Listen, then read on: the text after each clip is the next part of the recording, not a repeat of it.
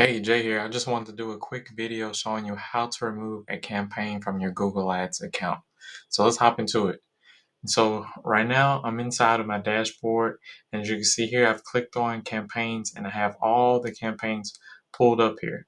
So what do you want to do is basically select one of the campaigns and then hit edit and then select remove and then it'll give you this prompt to basically to permanently remove the, the campaign. And so now it's going to buffer for a few seconds and you're going to see a red dot appear next to the campaign. Also to see the remove campaigns, you definitely want to make sure you have your filter set to all and then you'll see the removed campaign here.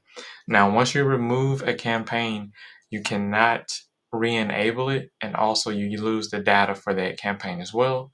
One other thing that you can do is if you want to recreate this campaign, you can select it and edit and make a copy of it and paste the same campaign here and it'll appear and you can re-enable that same campaign but you'll still have the, the removed campaign inside the account. So you have any additional questions about removing or adding a campaign, please leave your comments down below in the video. I hope this video helped. I'll see you in the next one.